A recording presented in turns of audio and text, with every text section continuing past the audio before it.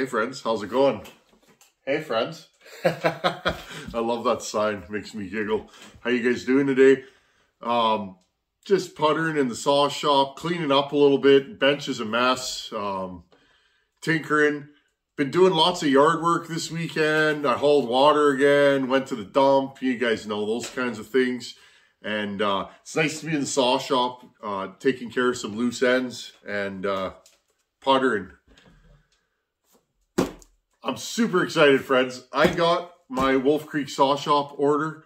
Um, if you guys haven't been over there, uh, please go check out wolfcreeksawshop.com. Um, Ryan has been super good to this channel. I, friends, for a long time, I was having trouble getting a good, reliable supply of parts from from anybody. And I heard about Wolf Creek through the grapevine, the way you guys would. You know, your buddy orders parts and you say, where'd you get those parts from?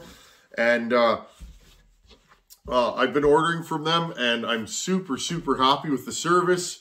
Quick on the emails and they ship usually right away. You know, uh, I've had no trouble. So, and and a lot of you guys out there have reached out and said, "Hey, Tin Man, I order from Wolf Creek too. They're they've been great to me." So, um, for those of you that have gone over there and and, and looked at what they had and, and, bought some parts, I really appreciate that.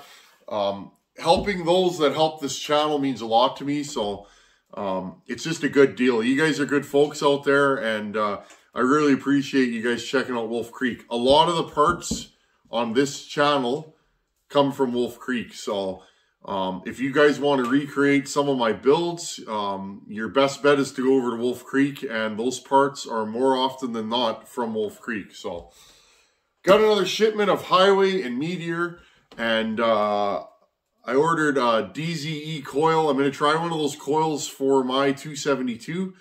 I actually robbed the coil off my 272 for the 268 giveaway saw.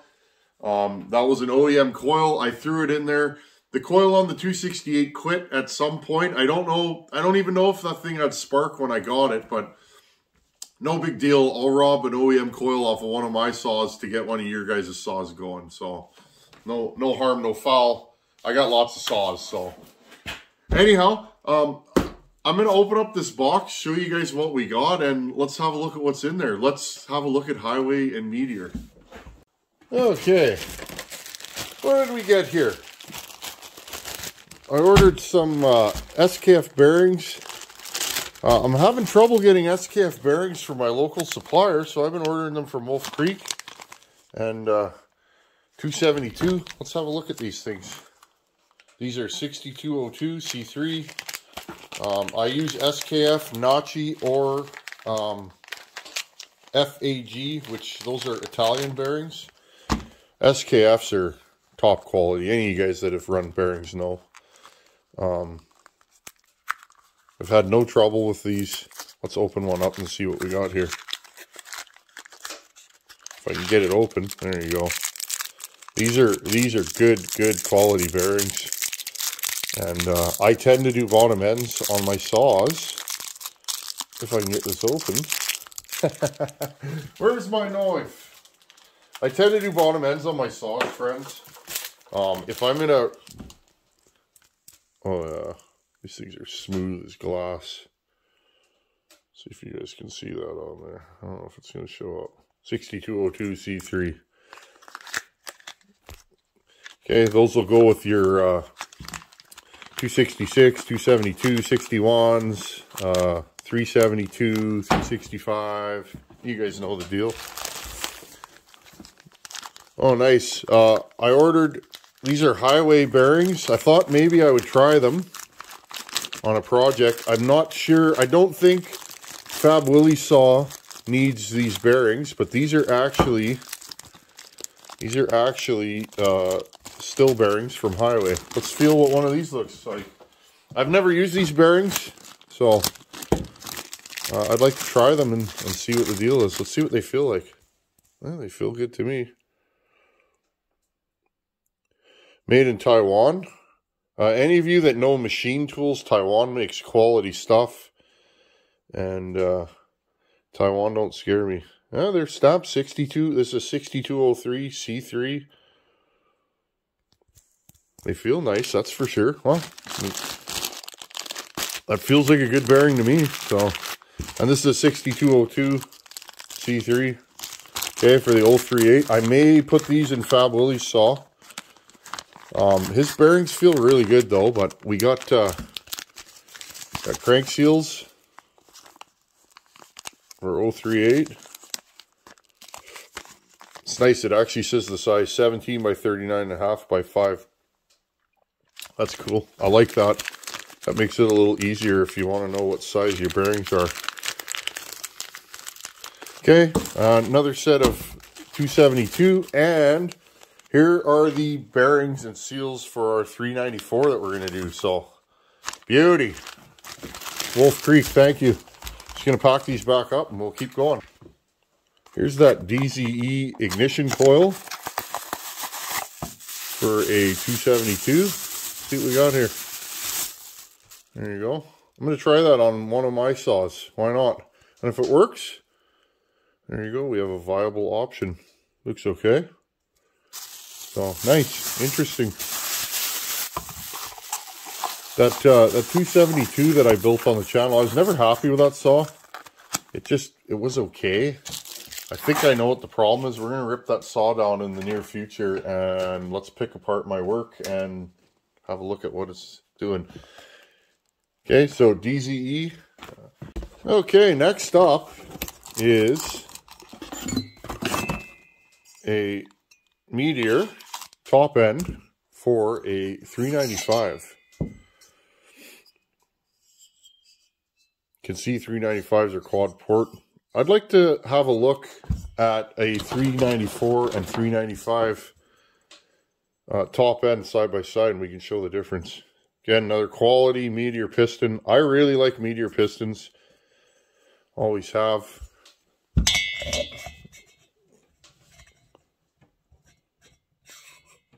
Fitment's beautiful in that piston or in that cylinder. So there you guys go. Uh, Meteor 395 top end. I like Meteor. I've used Meteor for the whole time I've been working on chainsaws and quality. And again, you can get this stuff, all this stuff from Wolf Creek. The nice thing is, friends, is that they're priced right. I mean, I know a, a, lot of people say, well, OEM, yes, but on a lot of these saws, and if you're a hobbyist, it, it's it's not cost effective to use OEM all the time. And, and a lot of these saws I work on, you can't really get OEM anymore. 395 with a pop-up.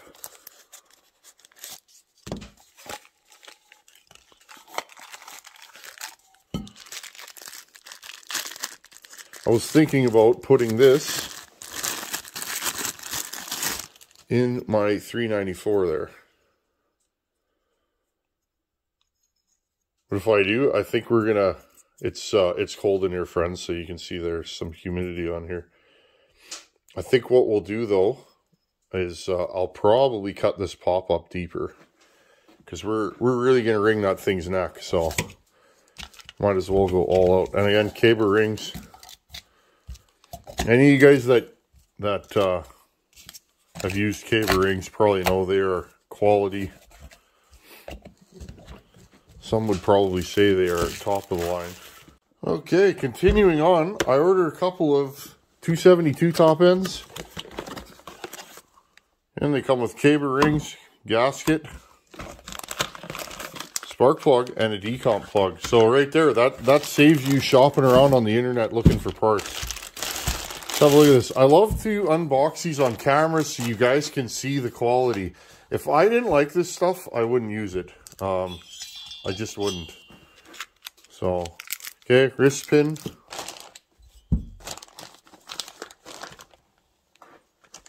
see what we got here. Circlips are stuck in there. Anyways, doesn't matter. Okay, pop up. And again, friends, it's it's uh it's a little chilly in here and humid, so Okay, let's have a look at this cylinder. Mm, nice. Notice the cylinder has been honed.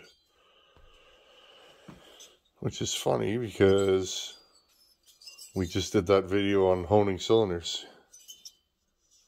Okay, that's a good looking cylinder right there. Little bit of flash in there, but we're going to port it anyway, so. There's the exhaust port. This is the same top end that I put on the 268 giveaway saw. And it's nice, they're marked now, so there's no there's no confusion about what top end you have on your saw.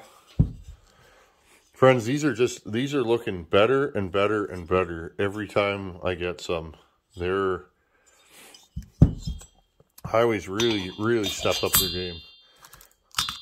And again, we've we've used these on the channel. You guys have seen them, and you know if I if I didn't believe that these were any good, I wouldn't spend hours porting them. You guys know what I mean? I wouldn't spend hours porting them if they were going to fail. And I, I've really had no trouble with them. And I've talked to hundreds of you out there that have also had no trouble with them. So here's a top end I've never ordered from Hyway. Wanted to compare timing on a Hyway top end versus an OEM. Again, decomp plug, or a spark plug. Now, one thing I do kind of like about the hyway top ends is they do have a decomp. So if you have an 038 Magnum and you find it hard to pull over, you can put an MS380 top cover on it in one of these and there you go. This one is not Caber rings, I believe. These are the hyway rings. That's just how they come, which is fine. Uh, again, I've had no problems with the hyway rings. I find they seat good, good compression. Wrist spin. There you go. Flat top, hyway 038 piston. Looks pretty good. I've never been inside one of these. Let's have a look.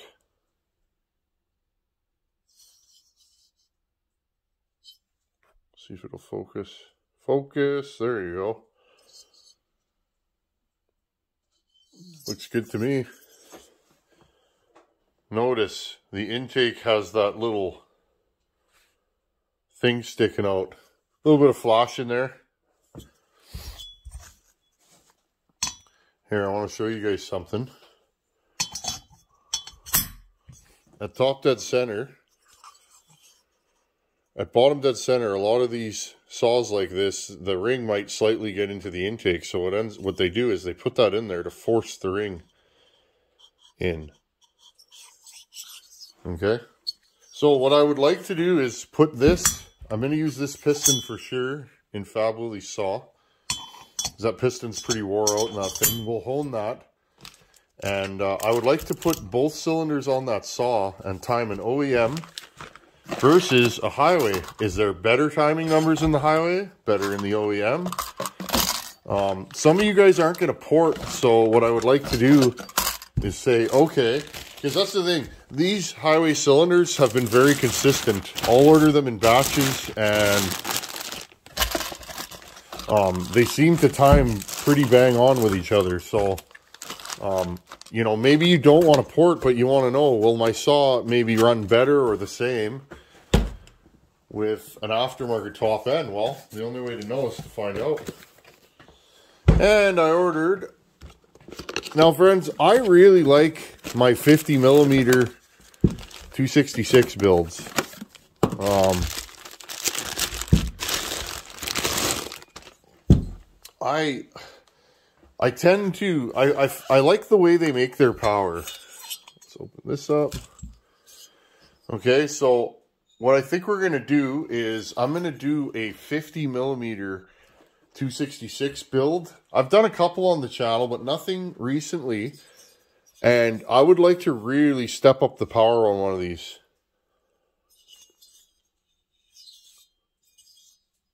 I like these cylinders. They're nice. Uh, port timing's pretty good on them. So they're uh, they're they're good. I can't remember what these run. I think they're like 125 bucks or something like that. 120 bucks. And I mean, th this is good stuff. Pop up. Single ring piston. This is a 268 piston. 266, the old ones have a full skirt. Okay, and a nice little pop-up on there. So, in the future, I'm going to do another 266, or maybe I'll do a 61 with one of these top ends on them, and I will we'll do a machine work orangutan build. We'll do a we'll take a junk saw off the bench and completely completely go through it and make it into a, an orangutan.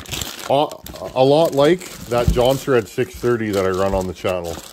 Uh, that saw has all the moves. Uh, it has a large pop-up, uh, machine work on the cylinder, lots of port work, big transfers, and a big carburetor. And you guys see how that thing runs. It's a monster. Let's keep going. Another thing Wolf Creek carries, these are OEM Walbro carburetor kits. Keeps them in stock, uh, reasonably priced. These are for the 394 So um, he carries a lot of different things. I'm going to open this one before you guys see it. He carries a lot of different things and go go in there and have a look-see. And uh, you'll be surprised if you're if you're into vintage and newer saws. He has parts for uh, newer saws. Um, go in there and have a look. -see. Another thing I ordered, NWP uh, West Coast side cover. Let's throw that on my 461 right now and just have a look. I do a lot of noodling and I find the OEM uh, chip guard clogs up a lot. So I wanted to try one of these. Again, all from Wolf Creek. This is awesome. Let's let's bolt this thing on. Okay, just grab the 461.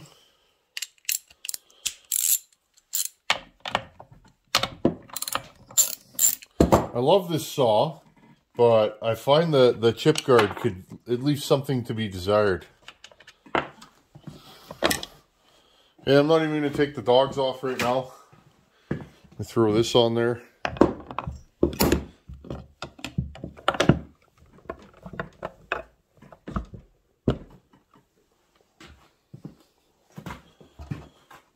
This is going to be a nice uh, upgrade.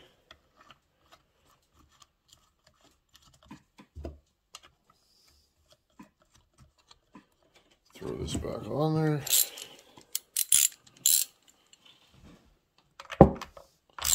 I saw these on the website and I went, wow, and they're they're quite reasonable, friends. Um, I don't I don't know what the Stihl ones cost, but anything Stihl here is usually very expensive. So, um, there you guys go. That looks pretty cool, doesn't it? You guys in here. Oh, that's nice. Well then, I like that. That's a that's a good looking that's a good looking upgrade. And again, it'll there's no ribs in here, so it'll clear chips a lot better. It's got a super heavy duty flap on it too. Chip flop. It's really cold, so it's a little stiff right now, but it'll uh, it'll uh, loosen up as time goes, I'm sure. Yeah, I like that. That's nice. Last but not least, a couple of gasket sets. Again, we're going to be building some more 61, 268, 272, 266 type saws. I use these like crazy. Uh, I really like these hyway gasket sets. It's got everything you need in it and nothing you don't. And uh, they work good. These crank seals work amazingly. I've had zero problems with them. I've been using these for a couple years now, I guess. And uh, for the price of these, you, you can't beat it. So there you guys go. It's awesome. Okay, friends. That was a pretty good unboxing. That was fun. So there you guys go. Uh, I just, I like to show you guys the things that I get from Wolf Creek unbox them in real time. You can see what they look like, how they're packaged. Uh, if you're looking for Meteor or Hyway, please go try Wolf Creek Saw Shop out. Ryan's a great guy over there, and he's taking good care of me. So, and he's taking good care of a lot of my friends. So, if you're looking for this stuff, please go over and check Wolf Creek. Tell them the Tin Man sent you. I'll put a link in the description below. Anyhow, as always, thanks for watching. Take her easy. Later.